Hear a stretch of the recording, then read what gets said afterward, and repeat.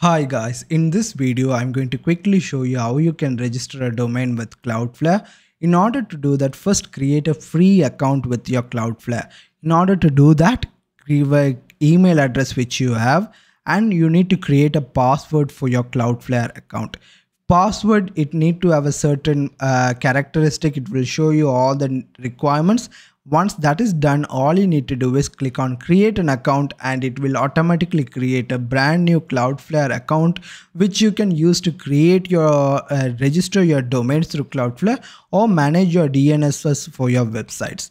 Once that is done, all you need to go into domain registration on the left sidebar of the app when you go into that you will see a couple of pop-ups here it will have display a pro plan i don't need that i first i need to verify my email address in order to purchase a domain i need to come inside here and click on send verification email and a verification email will be sent to my email inbox. Now I have opened up that verification email and clicked on it. All I need to do is just click on it. It will now show me your, my email has been verified.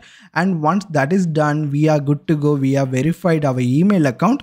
Now there is one more issue which we need to fix because if I go into domain registration again, now it will ask for payment information. For example, it shows no payment method is associated.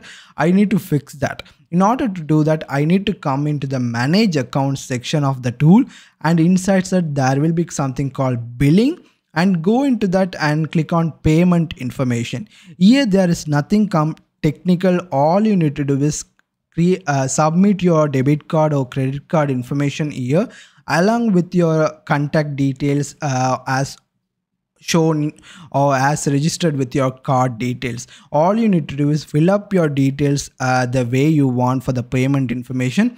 I have blurred out this particular section because i want to uh, stop uh, the sharing the personal information because it's recording that. So just fill up this is all basic information. And once that is done it will give you an overall su summary of this particular details also in the payment uh, method screen also once that is done, we don't need anything else. We just need to go back into the domain registration section of it and click on register domain, search on the domain name which you want and click on search. It will display all the domains with all the different extensions which it has. Decide on which is the extension you want and click on purchase. Once you click on purchase, it will give you a domain payment option on how many years.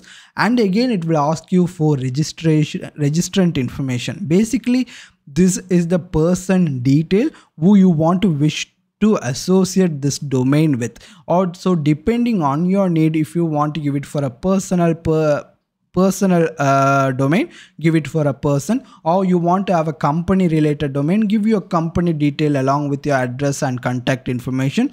This will be able to be visible under whois and they will be able to get the detail in case if they ever needed for that so I'm just going to fill up this details also with all my personal details uh, for the registrant uh, for this domain. Just need to wait for it. I'm just filling up this uh, details as I talk.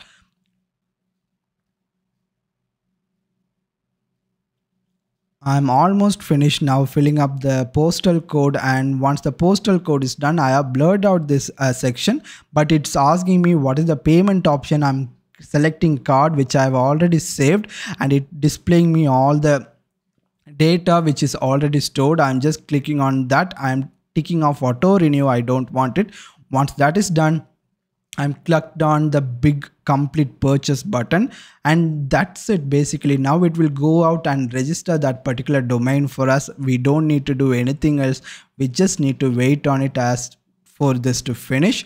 And depending on your internet and also their servers working it will take time. You can see it automatically registered for me. Now in order for me to manage the domain it is really simple. I am sure giving you a small example on how to do that as well scroll down click on manage domain and within this page you will be able to see all the domain related details and managing your DNS server and when is it expiring and give you all the domain controls as well.